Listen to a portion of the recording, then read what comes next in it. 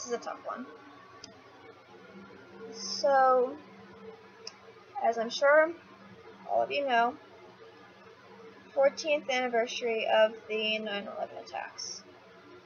New York City, the Pentagon, Flight 93. It's hard to talk about.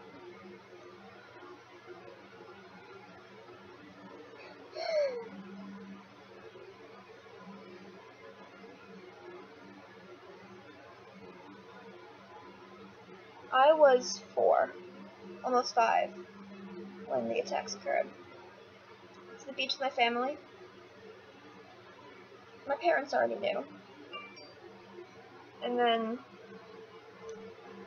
we were at lunch, my parents, my then almost two year old brother, and I, and someone mentioned it. I don't remember what he said, but I remember that's how I found out, and I was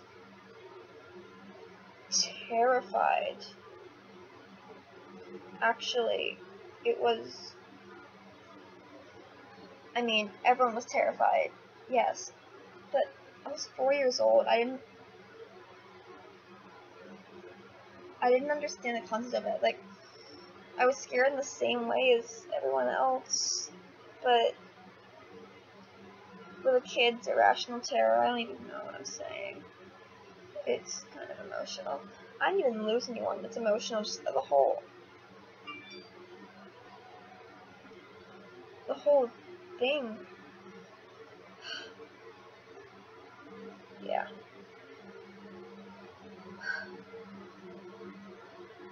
I've had the opportunity to go to the memorial in New York City three times the first time I went, I went with my mom. We were up there to go to the, the Metropolitan Museum of Art and um, made a stop at Memorial. Just before the museum opened. Um, just the Memorial and that it, it's overwhelming. So many names on those fountains. It's it's heartbreaking, really. So, the second time I went was with my parents and my brothers. Um, one of them was, um, so one of them was almost two. The other one was born a year later, so he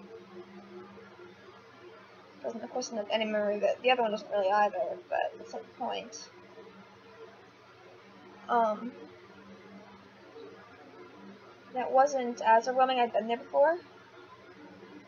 The third time was a completely different experience. We'd been reading the submission in my um, senior English class last year, which is about the designing of the memorial of this. It's, it's a good book, I recommend it and my English teacher asked, who's been to the memorial? And only like three of us in a class of 20 raised our hands. He looks and goes, okay, we're going. I thought he was kidding at first. I mean, New York City, what? And then he handed out permission slips. Um, we spent that morning going to MoMA to have modern art because we couldn't do just memorial. We needed something, and MoMA was a good counterpoint being the bizarre art museum that it is. Um, then we went, we had tickets to the memorial and to the museum. It was the third time, my third time at the memorial, but my first time at the actual museum. And, oh my god, oh my god. They had stories, they people, they artifacts, things from the towers when they fell. It was, it was overwhelming.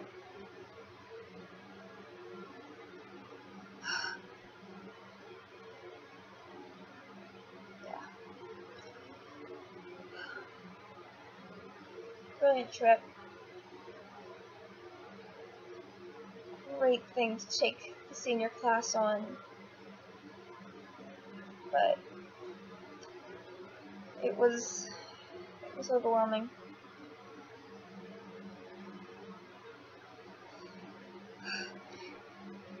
Sorry. So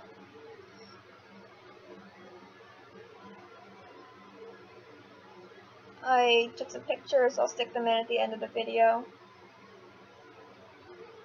Hmm, but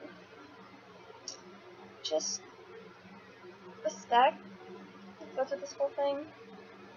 I don't care what you think about 9-11 conspiracy theories or whatever, and honestly, I don't want to know, just let the dead rest in peace, and the survivors survive, and let the families let them mourn their lost, the lost ones.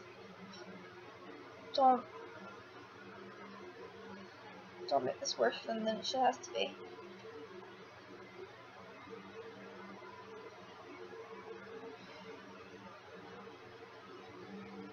And then I spent some time doing research on the Top Gun my own because why not? It's it's our generation, it's my generation, it's Pearl Harbor. The way the world band together in support of the United States. There's a really cool video of um, the Changing the Guard Buckingham Palace playing the Star Spangled Banner. You don't, they don't do that. It's a Changing the Guard Buckingham Palace. You don't play another country's national anthem, but it was September 12th, and the U.S. was devastated. We were so much just fall into pieces and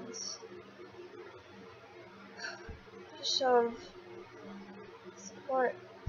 Beautiful. I really grew up in a post 9/11 world. I mean, I was born for the attacks. I was almost five when they happened, but I was a kid. I was still in preschool. So lot of my life's been shaped by this. Even in ways, I wrote a paper on this once, but I can't remember all my all my ways. Um, yeah, yeah. Wow. So today, I don't care what you believe, just for the day, put it aside. Just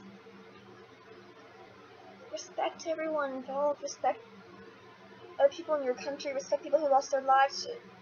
Respect the soldiers. Just please.